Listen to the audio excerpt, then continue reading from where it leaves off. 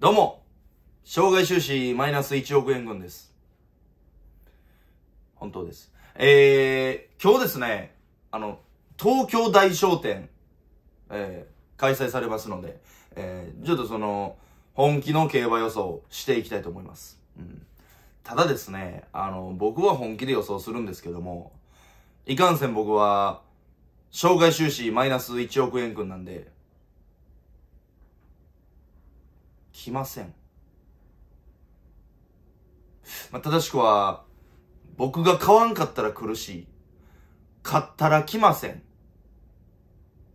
なんですけども、えー、でも予想は本気でやりたいということで、はい、ちょっと東京大商店、えー、予想していきたいと思います。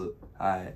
これもね、ちょっとごめんなさい、あのいつもはね、前日に、えー、出してる動画なんですけども、えー、もう当日になってしまって、本当に、あのー、ね、僕の予想を頼りにしていただいてる方、申し訳ございません。まあね、でも、なんか、うん、前日に動画が出てないから、えー、き昨日のホープフルもそうやったんですけど、あのー、なんか、よ、よかったーみたいな。えー、マイオク君が予想してない平和やーみたいな、なんか、ね、意見もちらほらあって、えー、非常に胸は痛めておるんですけども、はい、しっかり、えー、今日も予想してまいります。はい。えー、東京大商店。本命は、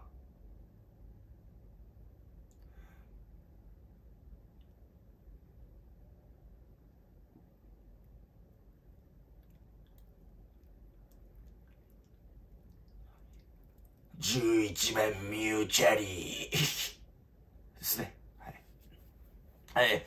えー理由はですね、あのーあ、ミューチャリーです。はい。えっと、前走の JBC クラシックで、あオメガパフューム、で、チュウワウィザード、えー、テーオーケインズに勝ったことが、まあ、やっぱり一番大きくてですね。はい。で、まあ、このメンバー、あの、現時点でのダート戦線では、はい。あの、ほぼ最強メンバーだと思うんですけども、うん、あの、テーオーケインズと、あの、オメガパフュームがこの、大きく出遅れて、で、展開が向いて、勝ったっていうね、あの、見方もあるんですが、えーまあ、でも普通の分馬やったら、あの、えーこれぐらいね、いくら展開がハマったとしても、うん、このメンバーには勝てないと思うんで、はい。だから、あの、ミューチャリー自身ももう相当強いと思うんですよ。ね。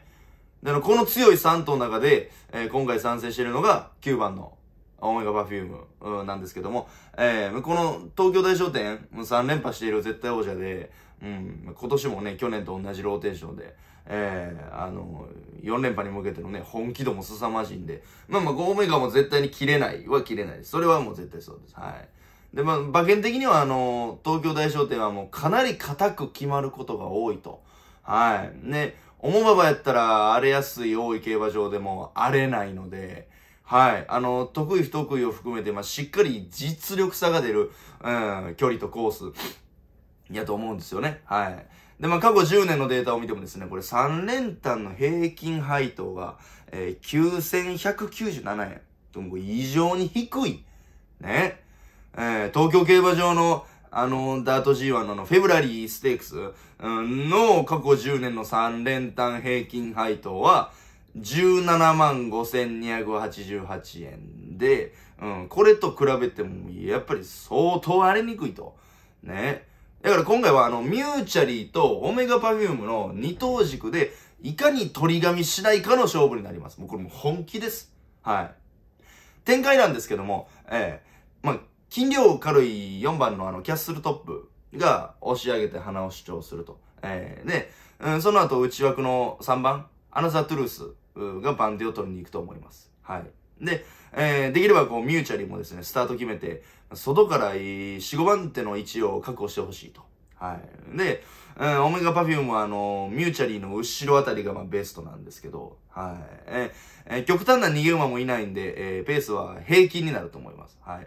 で、あのうん、最後の直線は、こう早めに抜け出したアナザートゥルースと、クリンチャーをミューチャリーが差して、で、さらに後ろからオメガパフュームが、えー飛び込んでくる展開になってほしいなと。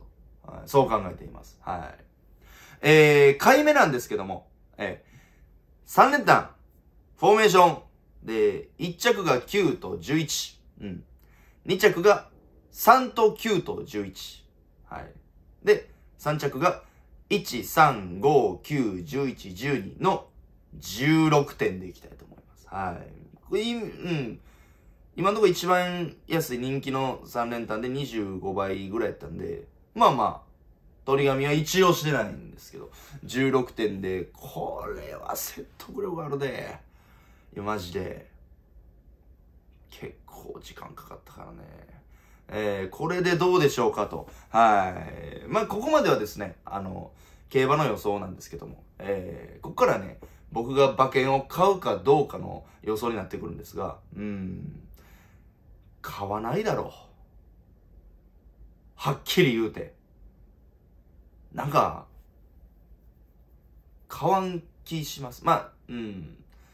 あんまりね、この、うん、僕あんま買わへんってちゃんと言い過ぎてね、その、インサイダー取引みたいになって嫌なんですけど、あのー、もうなんか、もうもうええかなって。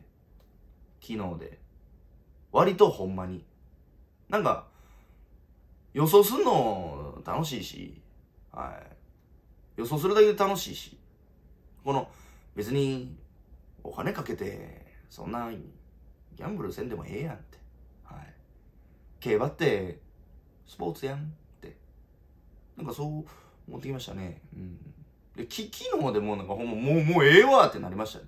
うん。あの、えー、何？ホープフルステークスと、うん。で、タコ負けして、うん、その後の立川志らくステークスと、はい、ファイナルステークスでももう意味わからない方して、うん、ちょっと、うん、やる気はそがれてます。はい。あと、あの、本当に金がないです。めっちゃいろんな事情があるんですけど、まあ、いろんな事情があるっていうかもうシンプルですね。もう、かかかかかか金ないです。はい。かかかかかかか金ないですよ。マジで。1円もないんちゃうかな。1円ちゃうで。1円やで。1円もないんちゃうかな。うーん、ただただですよ。2日前かな。